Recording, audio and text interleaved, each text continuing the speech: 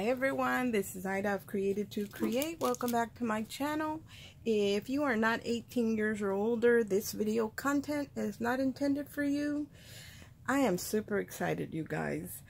Um, as you all saw, I had released a die that I created or that I designed and I had it made into a die and I needed help with that but in the process of doing that, it, it does get costly. So I learned how to make my own uh, files so I could have my die. I learned how to format it so I could have a die made out of any of my ideas. So today, my first, very first die that I designed from start to finish uh, came in today and I want to share it with you guys. And it's not a beautiful die. It's it but it's very practical for what we do. And I have to tell you that this die came about usually when I and I always tell this story uh, but before I go to bed at night I'm always in my mind I'm talking to the Lord before I go to sleep. And it, it, it was just a thought that popped into my mind. Well the next day I got up and I said let me do it. And it didn't take me very long to design it. And I had it made into a die now, I, I ordered all the packaging and everything for it. The die got here before the packaging did. I was very surprised how fast it got here. And I did cut it out so you guys can see. That's why I have this box.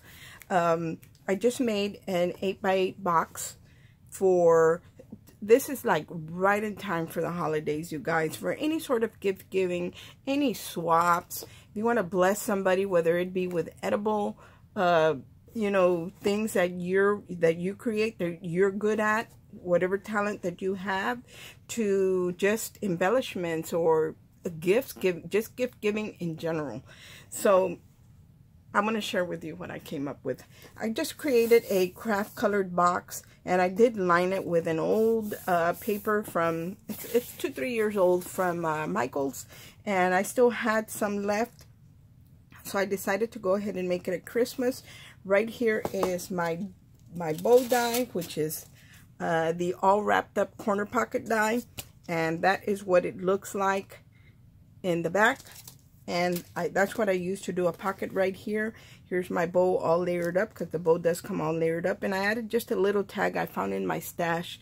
Someone gifted this to me I think my friend Nisha gifted this to me in a little uh, Christmas embellishment box. These flowers were gifted to me as well by uh, Boots. Hi, Boots. And then here is my pocket die that I used right here. I didn't add any foam in between the layers, but I did uh, give it some shape with a bone folder. And just I added one of the cutout panels to put in the front of the box. Now, this would be great if you have one of those bigger machines that you can cut a window in it. That would be perfect. But and I do have one, but I just didn't do it here to show you that it's beautiful regardless. So I did cut out some uh, notches right here or thumb index so I can be able to open the box, but my base is out of craft color. So I'm going to share with you the inside of the box. So the die is not a box die. You have to create that on your own. What I create, what I design was the dividers that go in the box. And I kind of went through my stash to see uh, what I had in here that would fit so I could divide it. Now, the one thing I can tell you that the dividers are 8 inches long and my base is not quite 8 inches because I made my lid first and that one was 8 inches. So I did have to take scissors and just snip just a little tad off the ends. But here's how I divided mine. I took out some embellishments. Some were gifted to me. Some were created by me. But let's say you want to give somebody flowers. I remember, I don't know if it was last year or the year before, I gifted uh, Miss Joanne. Hi, Miss Joanne. Some uh, poinsettias that I had created. And I was trying to make dividers because, you know, we do things in different sizes and I don't even remember how I did it, but I wanted dividers in it, and I did. I never in the life of me thought about this until that one night that I was talking to the Lord that this idea popped up. And this is typically what you would find in um, the uh, to divide uh, like your sock drawer and stuff like that. But these are dividers. Here are my dies that uh, the cut cutouts are an inch apart. So that way, if you're doing something really small, that you only need a little one inch cube, or if you're doing something lar larger, it depends on where you uh, intersect them, how big your sections are. And I did design them in two sizes. These are the two inches right here, the two inch dividers, and they are eight inches long. So you are going to need a full or an extended plate to run them, not because they're wide, but because they are long. And I wanted something that was a good size. I didn't want to create a little six inch die. I wanted something that was a really, really good size. Now, although these look the same, they're not the same. So you get one, these two come in a set. The cut apart, the cutout right here is different. So this one's longer and this one is shorter. The reason for that is so that when you crisscross them, when you crisscross them, they sit, they're flush on top.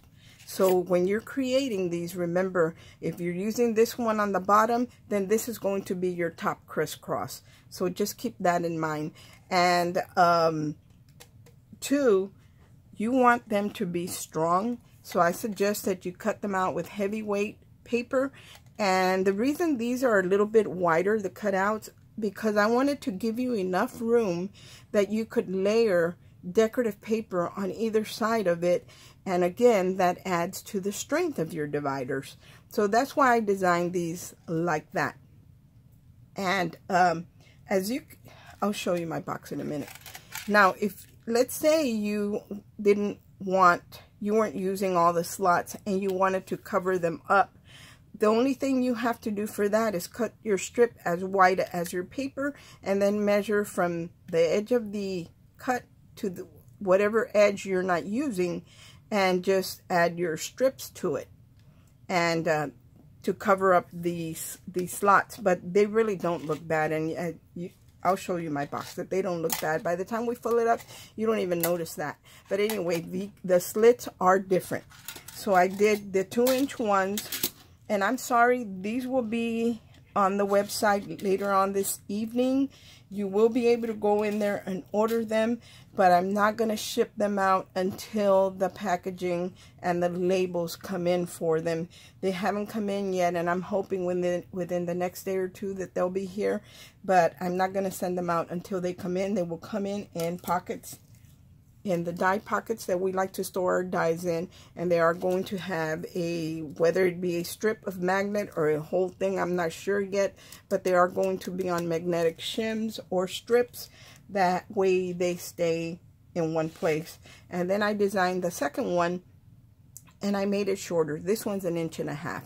So you know depending on what you want to do how high, tall you want the box. I created my sample to be a 2 inch.